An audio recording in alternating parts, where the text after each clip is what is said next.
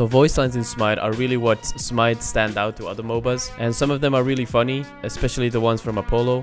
I think they're really amazing and they're really underrated. So here, listen to a couple of them. Oh, look, another Norse with a stats change ability. Hmm. I'll show you 700 horsepower. Nice try, tool. Nice try, scrub. Two heads? Fine. I've got two axes. Run along, little girl.